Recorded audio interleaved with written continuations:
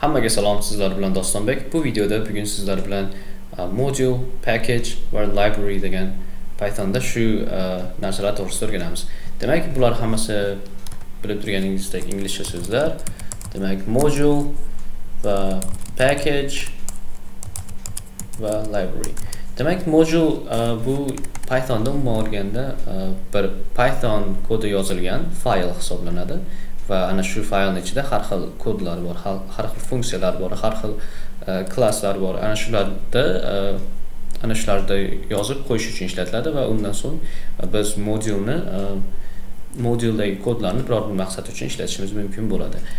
Package bo'lsa mana shu modul fayllar to'planmasi jamlanmasi hisoblanadi va u ham biror bir maqsadga bir maqsadni bajaradi. Misol uchun aytaylik packagelardan qanday packagelar bor?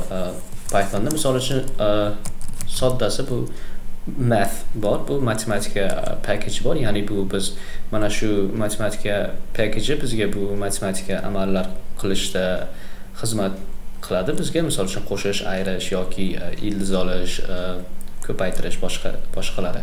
Va bundan tashqari misol uchun aytaylik yana har xil pygame bor.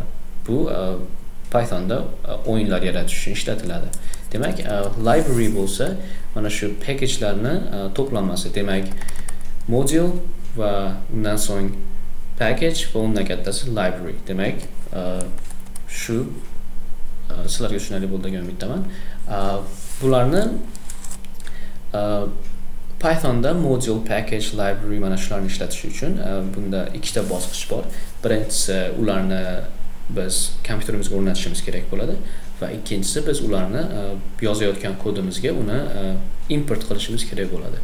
Demak e, birinchi bosqichda sizlarga qanday qilib mana shu packagelarni kompyuterga o'rnatishni ko'rsataman. Demak bulardan bir bir yo'li misol uchun sizlarda agar pycharm o'rnatgan bo'lsanglar bu yerdan faylga boramiz va bu yerdan settings va bu yerda projectga borib bu yerda project interpreterga boramiz va mana bu yerda mana shular bu listda ko'rib turganingizdek bular hammasi package hisoblanadi. Demak yangi package o'rnatmoqchi bo'lsak aytaylik uni biz mana bu yerda plyusni bosamiz va bu yerdan biz qidirishimiz mumkin. Misol uchun qanday e, package yaratmoqchimiz aytaylik pygame. Demak e, bu yerda bizga pygame chiqaradi. Demak bu yerdan biz install packageni bosamiz va bu biroz vaqt oladida ana shuni e, o'rnatadi. Ba'zida bu yerda ba'zi bir xatoliklar bo'lishi bo'lib qolishi mumkin lekin buni albatta e, yechish yo'llari bor lekin bu juda ham kam hollarda muammo bo'ladi. Demak mana shu yerda biroz vaqt oladida va uni o'rnatadi. Demak e, biz buni ikkisini bosamiz. Bu mana shu bir yo'li. Agarda biror bir paketni o'rnatmoqchi bo'lsangiz bu yerda har xil paketlar bor va bu yerdan qidirib E, istalgan packageni topishingiz mumkin. Demak e, bu bir yo'li agar paycharmingiz bo'lsa. Lekin yana bir yo'li agarda paycharm e, o'rnatmagan bo'lsangiz yana bir yo'li bu. Biz e, command promptga boramiz. Ya'ni mana bu yerdan poiskdan cmd deyiladi. Ya'ni command prompt. Va mana shuni men run as administrator qilaman. Bu demak administrator sifatida yurgizadida va bizga har xil e, vazifalar bajarishga e, imkon beradi. Ya'ni demak mana shu yerda. Demak e, birinchi qiladigan ishim bu yerda men pythonni tekshiraman o'rnatilganligini. Demak ko'rib turganingizdek bizda python uchinchi versiya chiqarib beryapti va bu yerdan control z ni bosib chiqaman. Demak va yana ikkinchi narsa tekshiradigan bu pip. Demak pip ham bu pythondagi bir e, package hisoblanadi. U bizga e, har xil packagelarni o'rnatishga yordam beradi. Demak pip menda bor ekan. Demak bu yerda men e, mana shu packagelarni o'rnatish uchun ups demak o'rnatish uchun men pip install install o'zbekchasi o'rnatish degani demak pip install pygame. Demak pygameni o'rnatmoqchiman men va enterni bosamiz ko'rib turganingizdek bu yerda aytyaptiki e, allaqachon o'rnatilgan deyapti men allaqachon o'rnat aytaylik yana bir boshqa narsa o'rnatmoqchimiz demak pip install numpy. Bu ham bir e, library hisoblanadi pythonda. Demak uni o'rnatamiz. Demak bu ham aytyaptiki allaqachon o'rnatib bo'lgan siz deyapti. Demak bu kompyuterimga men allaqachon o'rnatib bo'lganman. Demak mana shular e, ikkita bosqich hisoblanadi. Qanday o'rnatish?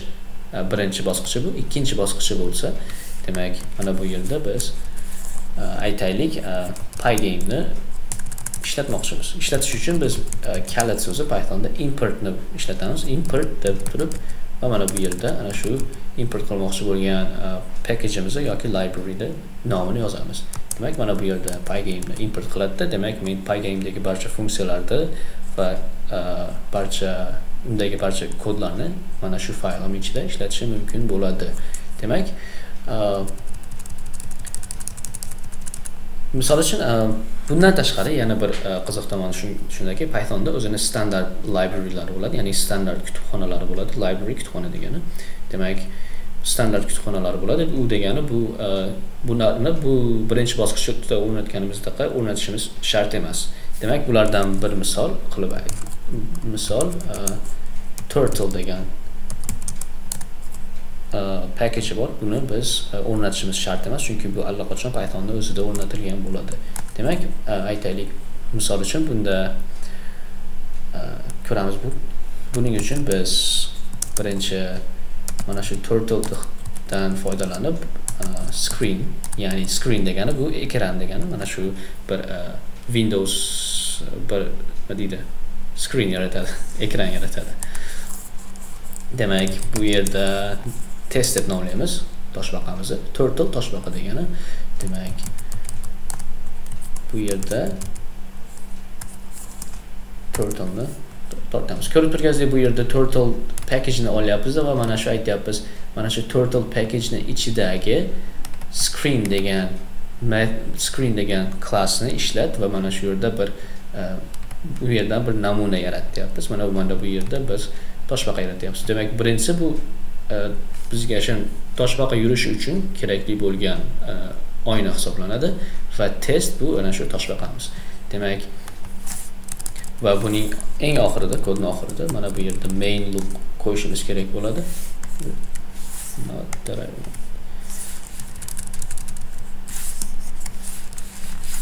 Demak mana shu oynada main loopni qo'yishimiz kerak bo'ladi. Demak main loop degani bu mana shu e, oynani ochgandan so'ng biz uni x ni bosmagunimizcha u undan chiqib ketmaydi. Demak bu main loop mana shuning uchun kerak bo'ladi. Agar bu kodni yurgizadigan bo'lsam mana bu yerda ko'ramiz. Va menda mana bu yerda e, oyna yaratdi. Va ko'rib turganingizdek mana bu bizni toshbaqamiz hisoblanadi. Toshbaqaga o'xshamaydi lekin baribir nomi shunaqa. E, buni o'zgartirishimiz mumkin bo'ladi toshbaqa rasmiga. Demak e, bu bu toshbaqa bilan nima qilishimiz mumkin? Misol uchun bir bir qancha misol keltiraman aytaylik. Toshbaqani olamiz o'zgaruvchi ya'ni va bundan biz e, funksiyasini chaqiramiz. Misol uchun forward degan funksiyasi bor degani bu degani oldinga degani oldinga qanchadir yur. Mana bu yerda pixel qiymat beramiz aytaylik to'qson piksel yur yoki aytaylik yuz piksel oldinga yur deyapmiz. Agar buni yurgizadigan bo'lsak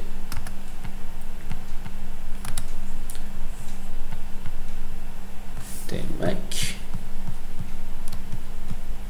va mana bu yerda ko'rib turganingizdek 100 piksel oldinga yurdi. Va bunda yana ham juda juda ko'p e, funksiyalari bor. Misol uchun aytaylik. Test left ya'ni chapga degani chapga bu yerda gradus qiymat beramiz. Aytaylik 90 gradus chapga buril deyapmiz. Va chapga burilgandan so'ng aytaylik yana test forward deymiz. Yana 100 piksel yur deyapmiz. Demak yurgizamiz buni. Va bundan so'ng bizga mana bu natijani beradi. Ko'rib turganingizdek bu 100 piksel oldinga yuryapti va chapga 90 gradus burilyapti va yana e, 100 e, piksel oldinga yuryapti demak bu yerda biz biz qilgan ishimiz birinchi o'rinda biz turtleni import qildik. Demak misol import qilgandan so'ng uni o'zimiz kodimiz ichida ishlatishimiz mumkin bo'ladi. Va undan so'ng biz unga oyna yaratdik. Ana shu turtle uchun oyna yaratdik bu yerda va undan so'ng biz uh, turtle uchun turtleni o'zini yaratyapmiz. Ya'ni toshbaqani o'zini yaratyapmiz va undan so'ng biz uni unga mana shu e, buyruqlarni beryapmiz. Bular funksiyalar metodlar hisoblanadi. Method deyiladi. U ham bir funksiyani turi. Demak oldinga yur deyapmiz chapga buril deyapmiz va yana oldinga yur va mana bu yerda mana shuni beryapmiz. Demak buni asosiy vazifasi e, biz x ni bosmagunimizcha oynadagi x ni bosmagunimizcha e, uni oynani yopma degan degan e, buyruqni bajaradi.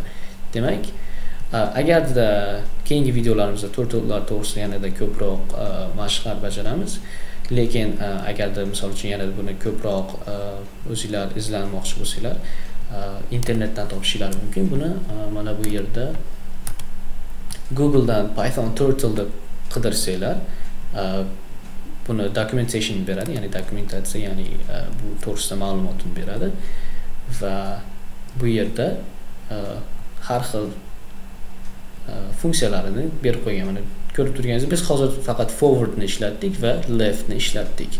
Demak bu yerda juda ham turli xil yanada ko'p juda ham ko'p buyruqlari va funksiyalari bor. Va mana shu yo'llardan e, o'rganishingiz mumkin bo'ladi.